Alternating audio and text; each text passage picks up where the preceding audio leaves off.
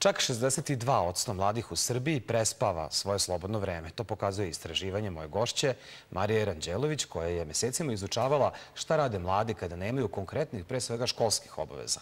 Ali to nije jedina tema o kojoj ćemo govoriti narednih nekoliko minuta. Dobro jutro i dobro nam došli u studio 3 RTS. Dobro jutro. Čuli smo 62% e, njih prespava svoje slobodno vreme. Prilično su poražavajući e, podaci. Kako ih vi tumačite? Vidite, deca i mladi ljudi su pre svega vrlo neinformisani kada je reč o tome i kada je reč uopšte o sadržajima koje mogu koristiti za svoje slobodno vreme. A tu su najodgovorniji svakako roditelji i negde učitelji, odnosno prosvetni radnici s tim što do neke 15. godine, dakle što mi kažemo do puberteta, to i jesu dva najuticajnija formativna dakle, faktora koja utiču na vaspitanje i obrazovanje dece. Već od neke 15. godine dva e, jača formativna faktora od roditelja i prosvetnih radnika jesu mediji i naravno vršnjaci. E, kako će zapravo e, naše dete popuniti svoje slobodno vreme, dakle, zavisi od roditelja, ali zavisi negde i od škole kako će ga ono uputiti i naravno od društva u celini. Društvo mora da bude prosto senzibilisano za fenomen slobodnog vremena, jer iz slobodnog vremena e, nekada može proisteći struka, dakle, ukoliko dete ima određeni hobi, ali isto tako može da dođe i do delikventnog ponašanja ukoliko je slobodno vreme prazno, odnosno ono što kažu naša deca, to je gluvarenje, smaranje, blejanje, to su sve neki, dakle, prosto žargoni koje oni koriste već od neke 15. godine kako bi imali određenu konspiraciju u odnosu na svoje roditelje. I naravno, kada pitate decu, odnosno kad sam ih ja pitala u okviru tog istraživanja koje je rađeno 2010. godine, ali je sve aktuelnije, postoje dva refrena.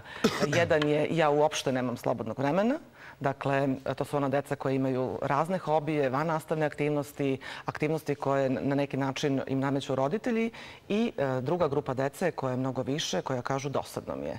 E, mene je specijalno interesovala ta druga grupa dece koja kaže dosadno mi je, zato što ukoliko im je zaista dosadno, onda naravno da će oni odabrati neke sadržaje koji svakako mogu negativno da utiču na, na njihovo vaspitanje i onda naravno mi kao društvo imamo problem. Danas sve više govorimo i o vršnjačkom nasilju i o digitalnom nasilju. Sve je to negde proisteklo iz nekog, da kažem, neadekvatnog slobodnog vremena. I šta sad kao rešenje vi navodite evo, za te koji imaju dosadno? Da. Ja sam u toj knjizi koja se zove Pedagoški potencijali lokalne samouprave i slobodno vreme mladih zapravo govorila o tome koliko jedna lokalna samouprava, pa čak i najmanja lokalna samouprava samouprava e, može da doprinese dakle, da e, deca budu upućena kako koristiti svoje slobodno vreme. Dakle, e, svaka lokalna samouprava sigurno ima nekih 50 potencijala. Nešto deca znaju, nešto ne znaju. Dakle, to su možda biblioteke, muzeji, to je ono što je njima možda manje interesantno. Ali svakako jednim dobrim načinom dakle, i vođenjem vaspitanja od strane svih ovih faktora koje sam navela, deca bi odabrala, da kažem, nešto što će ih interesovati interesovati za slobodno vreme, a opet kažem, od hobija puno puta nastane struka. Ali, e, evo, mnogi, mnogi će vam od dece reći da im je dosta školskih obavez, da bi oni malo da ne misle na školu. Jeste. Pa sad, kako to da uskladimo? Da bi oni stvarno malo iz svog slobodnog vremena da mogu se igraju s drugarima? Oni imaju, oni imaju pregrš slobodnog vremena. Dakle, ako vam kažem da e, na osnovu tog istraživanja... Ne, ne, govorimo o ovom idealnom slučaju o kom ste vi pričali. Da, ali u proseku dete ima e, sigurno 5 do 6 sati slobodnog vremena, a čak ona deca koja naginju nekom delikventnom ponašanju imaju do 15 sati slobodnog vremena. To su ona deca koja spavaju i sve ostalo je slobodno vreme. Dakle, nisu školske obveze toliko veliki problem koliko je zapravo veliki problem to što deca ne znaju e, šta sve može biti sadržaj slobodnog vremena. E, deca su prosto današnje generacije negde e, najviše zainteresovane za digitalne tehnologije, ali i to koriste na jedan loš način. Dakle, ne, ne koristeći za, za možda sebe i svoje obrazovanje i neku drugu vrstu napredovanja, već jednostavno Ili su to video igrice, ili su naravno takvi neki sadržaji koji svakako e, prosto ničemu ne doprinose. I šta je zapravo onda uloga medija? Kako bi ona trebalo da bude? Govorimo dakle o mobilnim telefonima i kojim ste pomenuli, ali i ovih tradicionalnih da. medija. Da. Ja sam pobornik medija. Dakle, ja u medijima vidim saveznika I mislim da, to potpuno sam sigurna, dakle to je, to, to je u celom svetu tako, mediji su danas najjača vaspitna sila i to ukoliko pre shvatimo, toliko ćemo, dakle, mi kao prosvetni radnici, jer ja sam negde prosvetni radnik, zapravo e, imati i e, negde interesantnije časove i naravno ono što je veoma važno, naučit ćemo decu kako da koriste medije. Dakle, deca danas koriste medije za e, neku, da kažem, svoju virtualnu komunikaciju. To je taj najjednostavniji vid korišćenja medija.